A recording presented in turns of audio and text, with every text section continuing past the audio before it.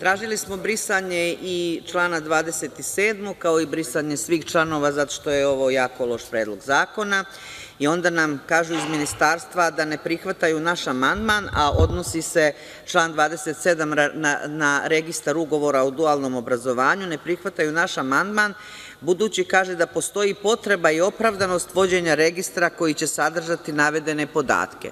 Ako je naš amandman usmeren na objašnjavanje zbog čega ne treba da se donese ovaj zakon, onda je ovo obrazloženje potpuno van konteksta predloženog amandmana. Ali sam primetila nešto, ministre, već nekoliko sati da vaše ponašanje u odnosu na poslanike koji govore o amandmanima.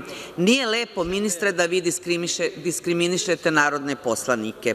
Imate šta da kažete na svaki komentar poslanika iz vlasti, a mi poslanici iz opozicije dva dana objašnjavamo javnosti, pre svega, koliko je poguban ovaj Predlog zakona o dualnom obrazovanju i vi na to nemate ništa da kažete. Lepo su vas podučili da i vreme koje vi koristite po amandmanu ide u ukupan fond vremena predviđenog po Poslovniku za amandmane i računate, pregrmiću ovo sa dualnim obrazovanjem, o ova naredna tri zakona niko neće moći ni da reč da kaže, zato što će sve vreme po amandmanima, po katastrofalno lošem Poslovniku Demokratske stranke, koji ste vi prihvatili i nastavili da primenjujete, zapravo ćemo uskratiti javnost za naše ozbiljne primedbe i na ove sledeće zakone.